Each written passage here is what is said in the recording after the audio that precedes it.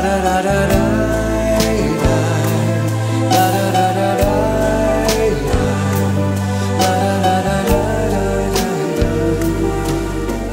dreamed that I was walking along the sands of time. It seemed I saw my whole life flash before my eyes.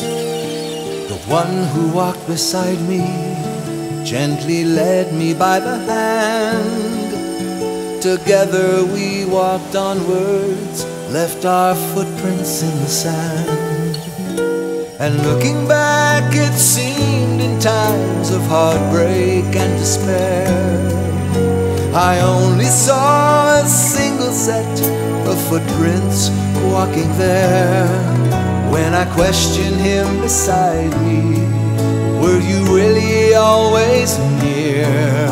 The answer that he gave me still echoes in my ear.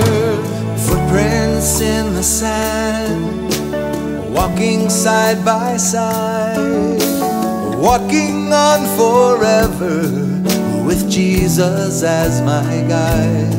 All the time I thought I walked alone, but his voice so kind said that single line of footprints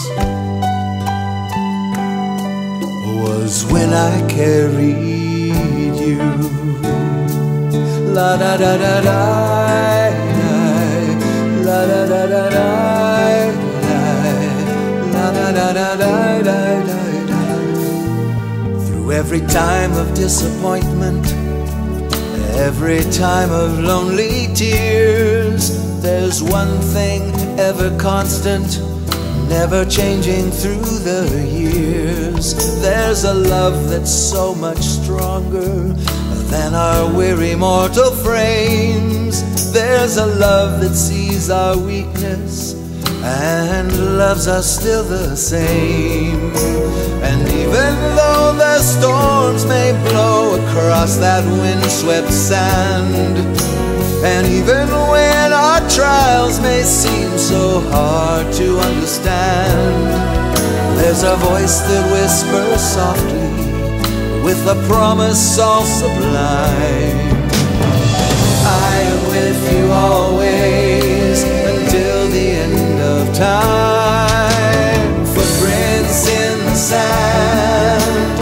Walking side by side, walking on forever with Jesus as my guide. So many times I thought I walked alone, but his voice so kind and true said that single line of footprints was when I carried you.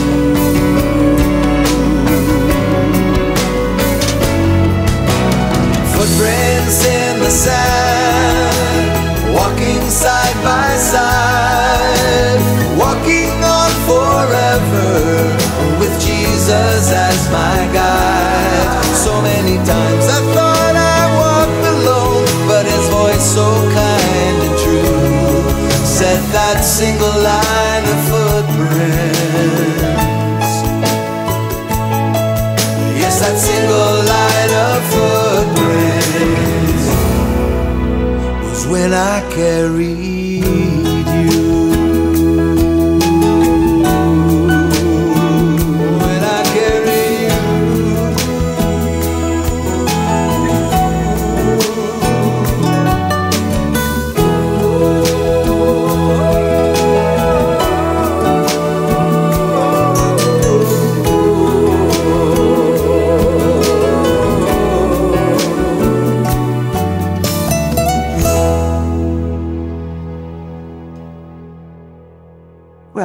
bless you, and thank you for being here to share with us again today. As you could see from the thumbnail, um, we were taking a week's break from our Can You Hear Me series. Yesterday, I had a very difficult day. I'm still having one. But my daughter passed on and went to be with the Lord. Uh, she'd been fighting a very aggressive brain tumor for about a year and a half. She was first diagnosed in, in June a year and a half ago. And she went through two surgeries, a lot of chemotherapy, and it's not been an easy time. And last night, I was laying on my bed. I couldn't sleep, and I was laying there thinking. And it was it was so hard even to grasp, you know, that I will never have another conversation with her. I used to joke because we used to always call her Chatty Charity. She would come in and just want to start chatting and chatting and chatting. And uh, that's not me. But anyway, she would come and start chatting away. And then when she was in the hospital, she would phone several times during the night, all night long. Or she would be sending a text. My phone would be ringing or it would be beeping because she was afraid and she was lonely and there in the hospital. And so it would be ringing and beeping. And, you know, sometimes I was like, oh, come on, Charity, let me sleep, you know. But last night I was laying there thinking, you know, I'm not ever going to have another conversation with her this side of heaven. And I'm not ever going to have any of those phone calls ringing at night or the beeping texts coming in because last night I was waiting for them. But I already miss her so much. So I know several of you have been praying for her over this time, and I want to thank you for that. And a, a dear friend of mine who has been praying as well in this time is somebody some of you know, Cindy Jacobs. And she sent me, I sent her pretty much what I was just telling you. And um, so she sent a message. She said, That's very hard. She is your baby. But no doubt she is dancing all over the place and wants to see everything. That was always charity. You know, she doesn't want to miss anything going on. She wants to be a part of everything. And so I said, I said that to Cindy, and Cindy says, I see that she wanted to go and dance and worship in the throne room, first of all. And I said, She's probably still dancing there. And Cindy said, Of course. She hasn't been able to enjoy being free like that for a while. And it's true because she's been struggling and trying to battle. She was really trying to hold on because her 17 year old son is all she's, she's all, she's all he's ever known. He never knew his dad because of things going on. And she, she never met, he never met him. And so he's here living with us right now and having a very hard time because he lost his mom yesterday. There's a picture I want to show you way back when Charity was first born. There she is. She's only a few weeks old here. And this reminds me so much of a story I'm going to tell you in a little bit. But she was born. We, my husband and I, would come back from Africa where I'd been on the mission field because my grandmother was dying of leukemia. And she wanted to meet my husband. And she knew that I was pregnant. And this was right before Christmas. And because I had been overseas for so many years, this was going to be the first time that her whole family was going to be together for Christmas. So she forced herself to carry on, to stay on, so we could be together for that Christmas. And then it was only going to be a few weeks until Charity was born. Her birthday was February 7th, 1978. And Gram held on long enough to see her first great grandchild. But shortly after Charity was born, she went on to be with Jesus. She went on to heaven. But she waited till the very end until she met her great grandchild. And then there's a picture just of Charity when she was a baby that I just loved. She was such a cute little girl. She came out when she was born. She was a very hard delivery. I had 37 hours of hard labor with her due to some complications from some surgery I'd had years earlier. But she was born with this great big head of afro of curly hair. And she always had it. It was so cute, so sweet. But then, after she was born, when she was five months old, we headed back to Africa. And there's a picture here of her out in the garden in Africa in her walker. She loved it. She loved playing in the dirt. She loved everything about it. And you can see the great big smile on her face. But then I ended up getting quite sick, and we had to come back to Canada when she was not quite two years old. Or maybe she was just two years old, somewhere right in there. We came back to Canada. And Charity was someone, to this day, anybody that knows Charity knows she loves purses. And here's a picture of when her addiction for purses started. She was just tiny, just a toddler. And she'd find a purse and she'd put it on and start packing it everywhere she went. She would pack that purse around. And if somebody came to visit, if they were missing their purse, we knew where to find it. If I was looking for something from my purse, I knew exactly where to find it if I couldn't find it, because there she was. But then Charity grew up and and um, she helped a lot. She had such a heart and love for those in need. I always thought she should go into working with the elderly. Instead, she studied law. But I thought she should go into working with the elderly because she was so good with them. And um, then she had a passion. At the church that I pastored, we had an outreach to the homeless, and she absolutely loved it to the point that there was this one homeless man. She always served him his dinner, and he always loved to chat with her. And um, she was constantly there chatting for him. And she, one night, he came in and she was talking with him, and he was digging around in his bag. He said, I have something for you. I found this and I wanted to give it to you because it's so beautiful. It reminds me of you. And he had this crystal platter, and it was, it was real crystal, and it was gorgeous. He found it in a dumpster. And he, he could have sold it for, at the pawn shop and got, you know, a good amount of money for, for him. Instead, he gave it to say thank you to Charity because of her heart. But then as, as Charity, she got older, and she had ended up getting married with which was well she got was with this guy and um, the, she got pregnant and then through, through some circumstances i won't get into the details he had to leave the country and um, but she had this beautiful little baby boy that was born. There's a picture of charity with malachi. That's my grandson. He's 17 now and he's here living with us right now you be praying for him it's not an easy time for that little one but, anyways, Charity was such a good mother. She dedicated so much to him. You know, sure, like everybody, she went through some times, but she was thoroughly in love with that little guy. And then, you know, as she carried on, things were difficult, things were different. She was having a hard time. And a lot of times she would just sort of sit, put her feet up. There's a picture here. You can see she's got a smile on her face. This is sort of just before she was diagnosed.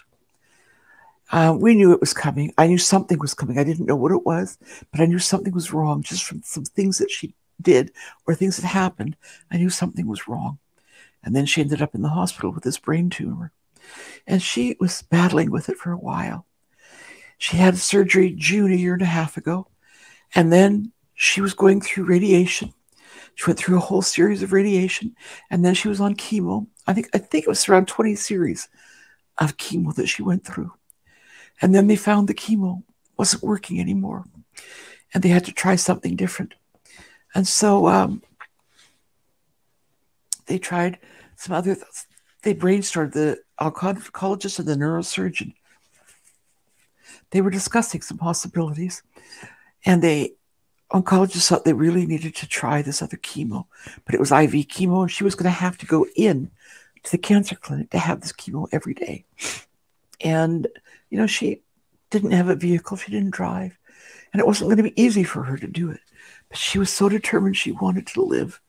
She wanted to live because her son is going to graduate this spring, and she wanted to be there for that. We, had his grad pictures taken. So in her hospital room, she had a picture of him his grad picture.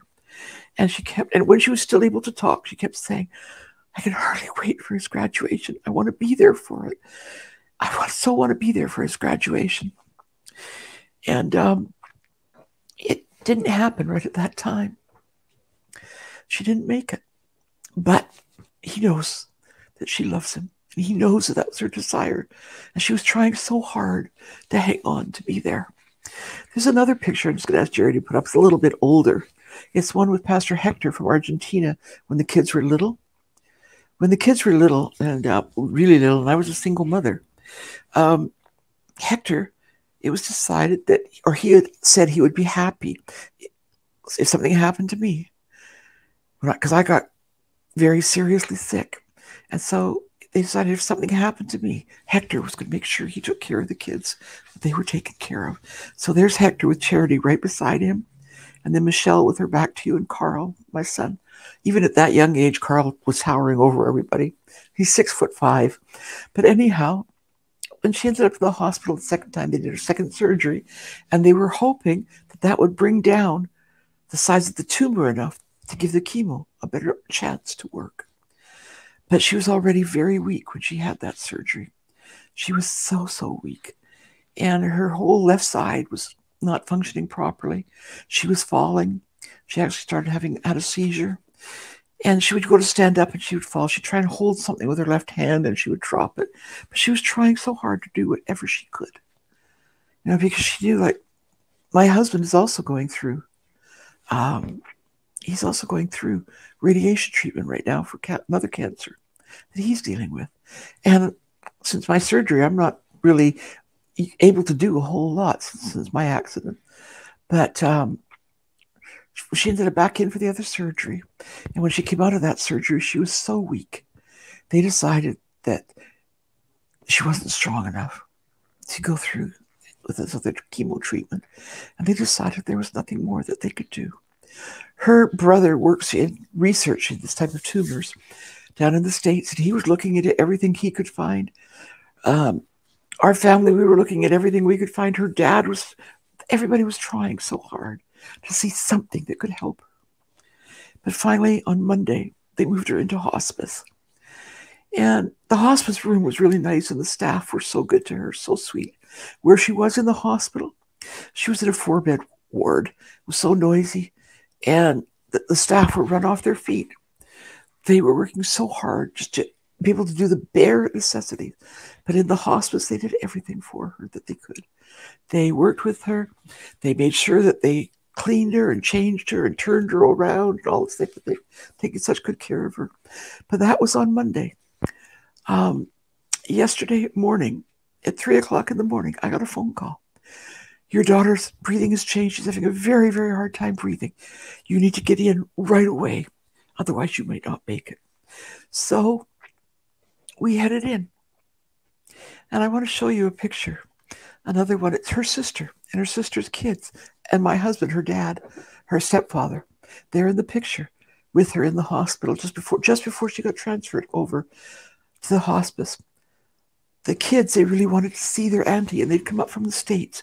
They hadn't been able to see any of us in two years because of the border closures. But here they got to see her and pray for her and talk with her, even though she wasn't really responding. They got to talk with her and they were, you know, they were so happy to be able to get in.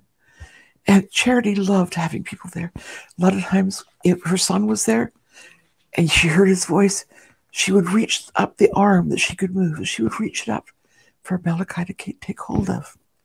But once she got, we got into the hospital. I knew yesterday that her breathing was so bad, and um, you all you could hear is gasping and gurgling in her throat and everything else. But I told her that her sister Michelle was on her way up from the states to, to try and get up here to be to see her and be with her.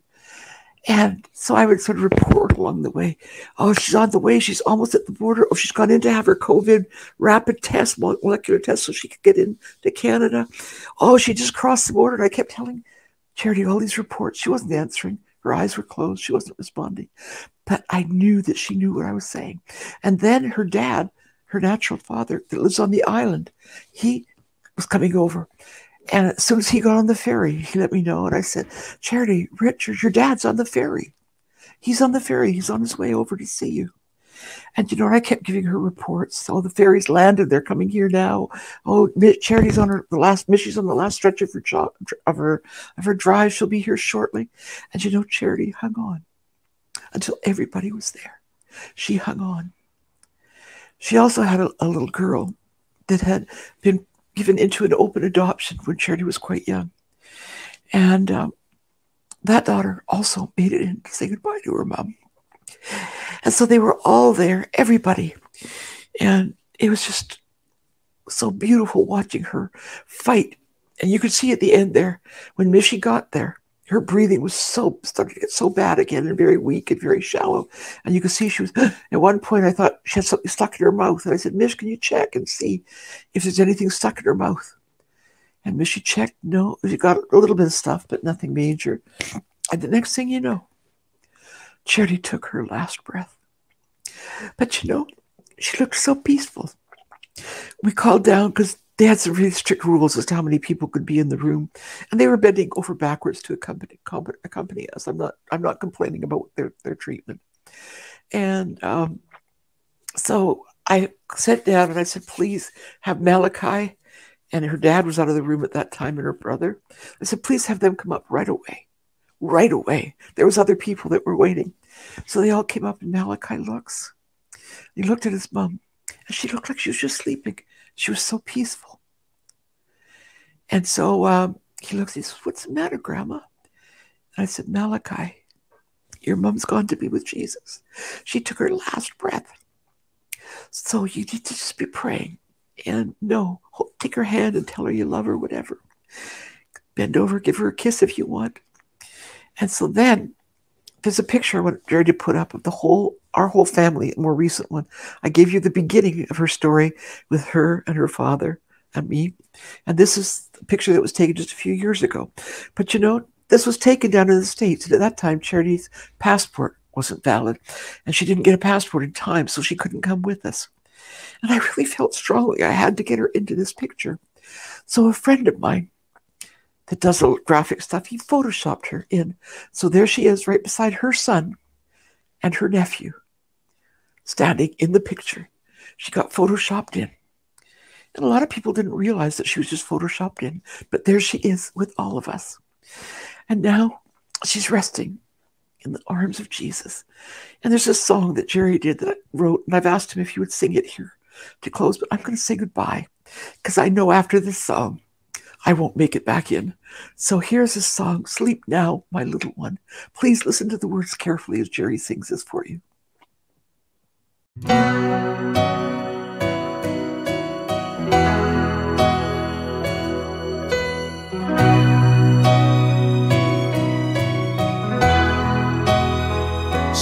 Now, my little one, and wake up in the arms of Him who loves you truly, who loved you wholly, who gave Himself for you and knows just what you're going through, and lives so you can live and love forever too. Sleep now, my hurting is fast approaching, but remember, though you may tremble, the arms that carried you till now will soon be seen by you, and you'll be happier than you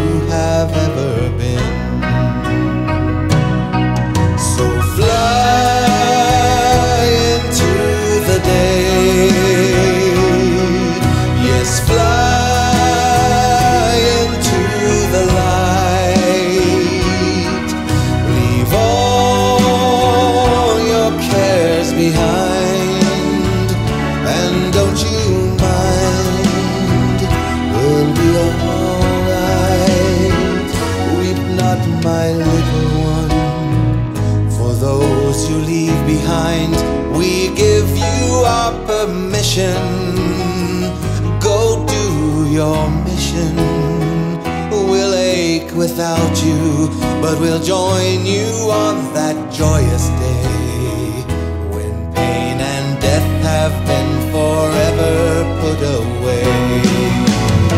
So sleep, my little one, and wake up in the land we here can only dream of. Touch, feel, and see love, and make a place for us, for we will join you together with you, soul, body, and mind.